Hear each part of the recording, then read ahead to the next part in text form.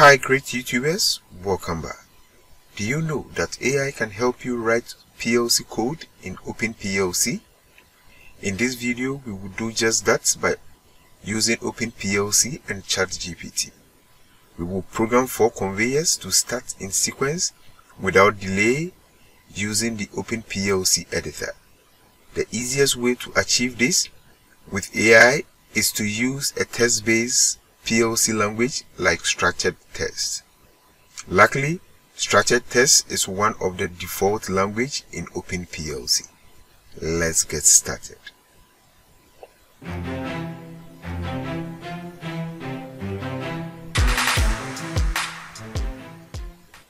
Kindly subscribe if you've not done that already and also press on the notification bell. This way you'll always be notified whenever I upload new videos. To do this, let's go to Google and then search for ChatGPT. Okay, I click on this icon and then click on this link and then let's ask our question. We are saying that we should write a PLC program in structured text, that is ST,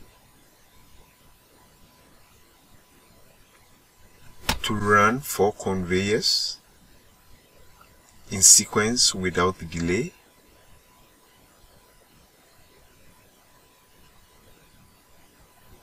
when a start push button is pressed.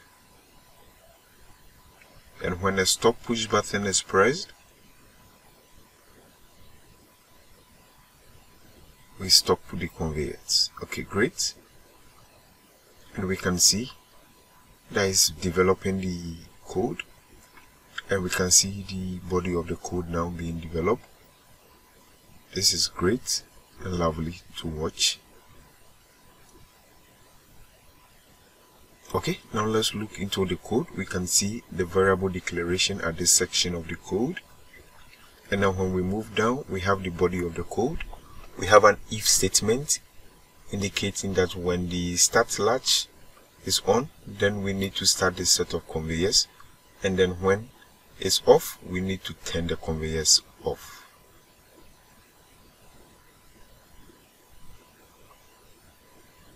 Now let's copy this code and then send it to Open PLC editor.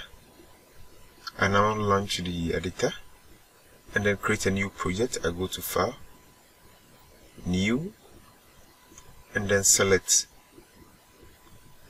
the folder where I want to keep the project. And then I create a new project sorry a new folder in this project.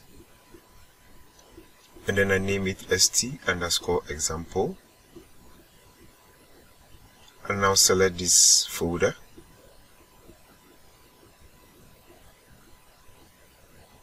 And then give the project a name. St underscore test and then select the language which is st and then click ok. Great we have the interface open. This is where our variable is and this is where we write our code. Okay i click on the plus to add a variable. We now come here copy the code generated by the ai which is ChatGPT and then paste it here. We now need to section these codes correctly. All the variables need to come into this variable table so I copy the first variable which is the start button and then paste it here. I need to change the data type. We can see it's bool and then I need to specify an output address which is kill sorry percent ix 0.0 for my start input. I add another variable and then this is going to be our stop button and the address is 0.1 I add the next variable and we can see this is an internal variable. So I paste it there and I need to delete this because it does not need a physical address. I click on the next and now specify the output. I paste the first conveyor and then I need to assign the output address which is 0.0 I add the rest by clicking on this plus sign. And then we can see all the four conveyors added. I need to delete this section now. And strangely the comments are not working. I need to delete them as well. It's still showing error. I come here and delete these sections too as well.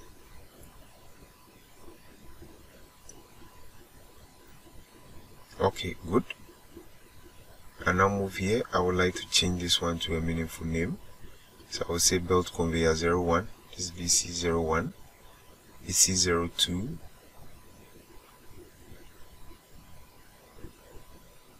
BC03 and then finally BC04 okay great. Now let's scroll through and then see if there are other errors we can see here is still underlined so I'll copy this section and then paste it. Okay we can see the error is gone. Great. Believe it or not this is all what we need to do. The editing is done. And then we can now compile this code. I now need to do a bit of modification before compiling. My PLC input is pulled up so I need to note the signals okay? So this is the very change I need to do and then I click on the upload or sorry the compile button. Now I select the board. My Arduino PLC board is a nano board so I select nano. Remember you can use any other nano board as well not necessarily this PLC board and now move to the IOS it's fine. And move to the communication and then enable.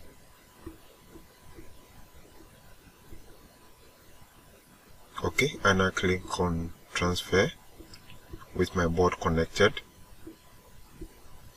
We can see the code is compiling. Okay we can watch the activity on the board. Okay the download is done. You can see the light flashed great. We have our code in our board now. Now let's do a quick test. Now if I send 12 volts to my input that's my start you can see all the three relay four relays sorry picking. And then when I send it to the stop it stops. Wow this is working great and this was developed just by AI thank you for watching. See you in the next tutorial where we will look at a complex example thank you. See you in the next tutorial. Bye bye